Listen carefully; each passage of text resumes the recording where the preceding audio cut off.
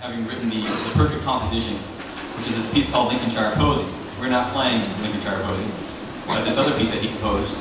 the reason why he's so famous is he, uh, he traveled around England and, and Scotland to a certain extent and recorded, uh, around the turn of the century, recorded folk songs. And he took those folk songs and orchestrated them for piano and choir and band. Um, and his harmonies are just gorgeous. And so uh, this is one of the Christmas carols he took from uh, Sussex, which is a place in England, I suppose. So anyway, this is uh, Sussex Christmas Carol, Sussex Mummers Christmas